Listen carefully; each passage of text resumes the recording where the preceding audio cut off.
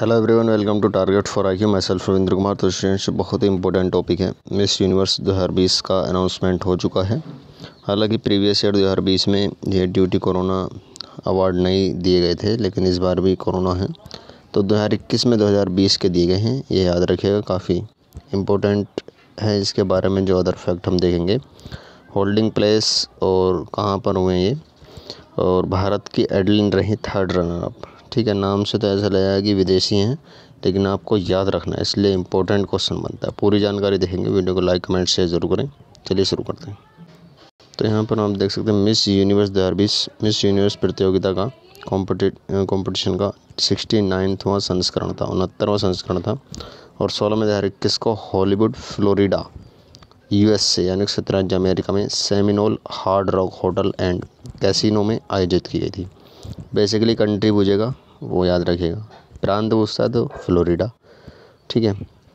और दक्षिण अफ्रीका की जोजी बिनी टुंजी ने इवेंट के अंत में अपने उत्तराधिकारी मैक्सिको को, एंड्रिया मेज़ा को ताज पहनाया।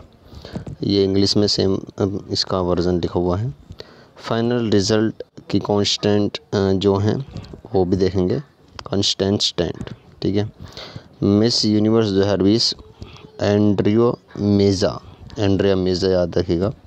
और फ़र्स्ट रनर अप जो रही हैं, वो ब्राज़ील की Julia Gama.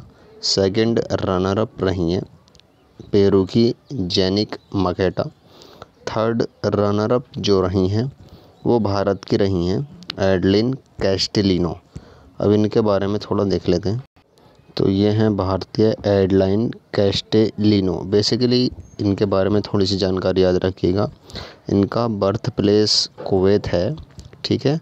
और ये अब आकर के भारत में जो समलैंगिक होमोसेक्सुअलिटी पर्सन होते हैं, उनके लिए भी कार्य करती हैं। तो इतनी जानकारी इनके बारे में याद रखिएगा।